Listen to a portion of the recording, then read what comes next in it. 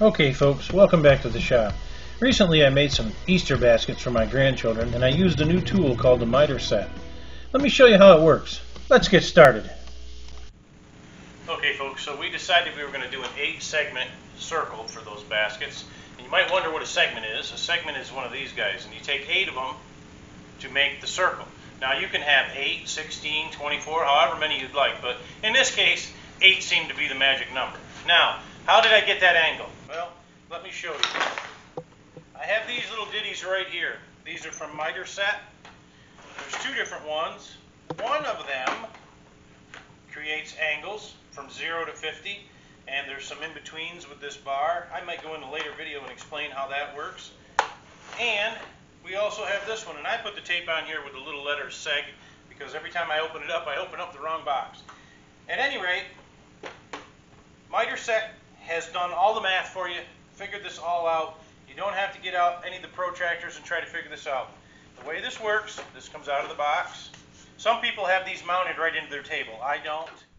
The way we find that angle with these segment gauges is with these two little pins. Pick a zero point, left or right, depending on which way you want your fence to turn. Then locate the number that corresponds to the number of segments that you'd like. In this case, we want eight. Then you simply take your miter set, miter gauge, and slide it in the machined slot like that.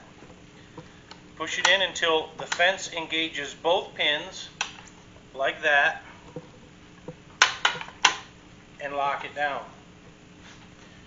You now have the exact angle to make an eight segmented circle, an eight segmented column. It doesn't matter. You'll have eight pieces that when put together will create a perfect circle.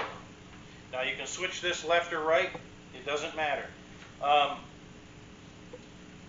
I recommend this thing. I don't know how I got along without this thing, making circles and picture frames and stuff. If you want to nail an angle, this miter set is definitely the way to go.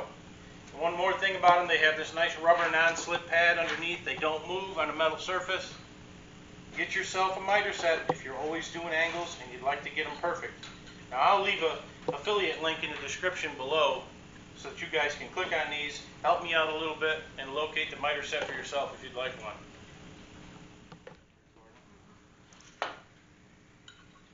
Now as I said folks, I created some Easter baskets with this thing and if you'd like to see how they turned out, I'll leave a link to that video in the description also. Thanks for watching and we'll catch you on the next one.